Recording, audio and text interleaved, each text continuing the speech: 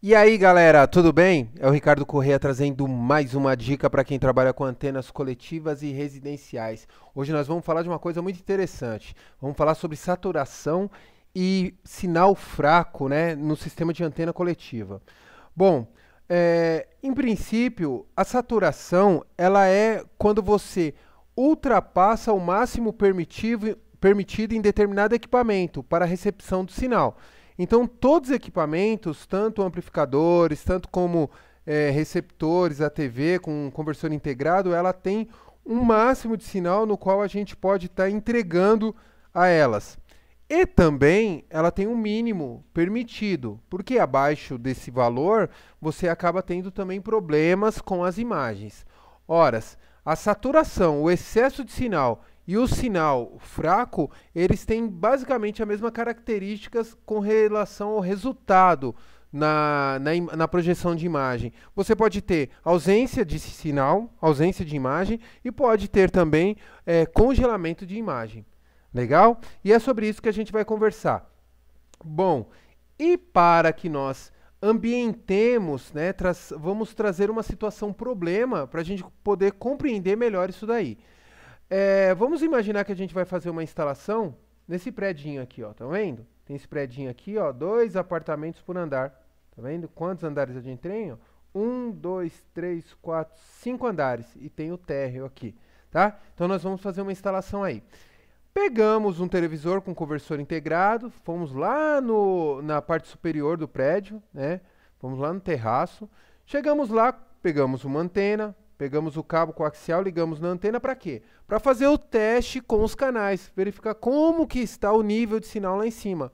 E aí a gente reapontou a antena e verificamos que o sinal está ótimo. Ó, os canais digitais estão todos bons, beleza?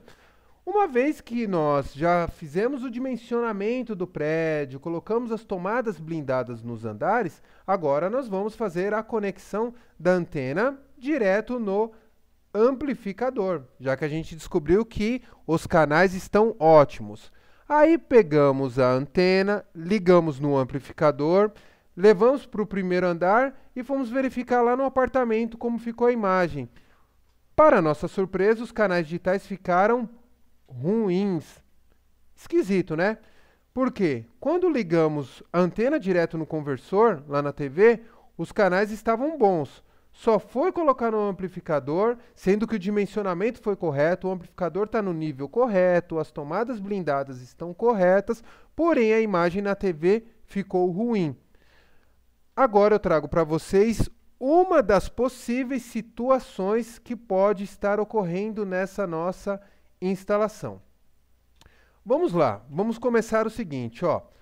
Todo conversor digital, toda a televisão com conversor integrado, de acordo com a norma, eles têm a sensibilidade de captar o sinal em determinado nível máximo e mínimo. O máximo é 89 dB microvolt. O mínimo 32 dB microvolt. Abaixo desse valor, eu tenho um nível de sinal fraco. Então as minhas imagens vão estar congelando ou eu não tenho imagem. É, acima de 89 dB microvolt, eu vou ter o que se chama de saturação, excesso de sinal, que também vai ter as mesmas características. Ou não tenho imagem, ou vou ter o congelamento de imagem.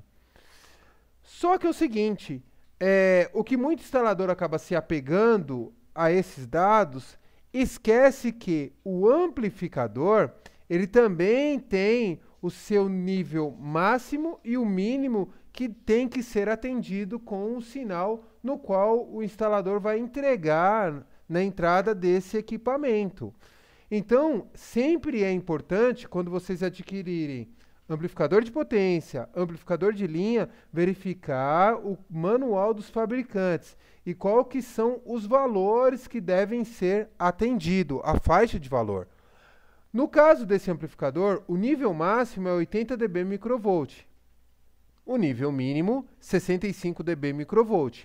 Acima disso, saturação. Abaixo disso, eu tenho ausência de sinal, ou tenho sinal fraco, não vai funcionar também.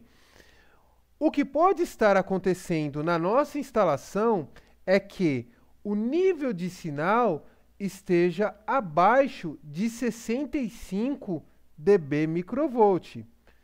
Se está abaixo de 65 dB microvolt, vamos dizer que esteja com 40 dB, 40 dB microvolt. Se eu ligar direto na televisão, 40 dB microvolt vai estar tá dentro, vai funcionar, está dentro do que a norma permite. E quando eu ligo no amplificador, não funciona, porque está abaixo do que é permitido. Então, uma coisa que a gente tem que se atentar é, além dos níveis do receptor também é o nível de sinal do amplificador. E vou falar um, outra, outro detalhe que é um agravante. Quando o nível está saturado de sinal no amplificador, ele acaba afetando todos os canais. Então vamos dizer que eu tenho aqui 95 dB microvolt na entrada desse amplificador. Ou seja, ele pode afetar todos os canais, não vai funcionar. O circuito dele acaba pegando em, de forma, é, vamos dizer, múltipla. Você atrapalha todos os canais. O que não acontece quando vai diretamente no receptor.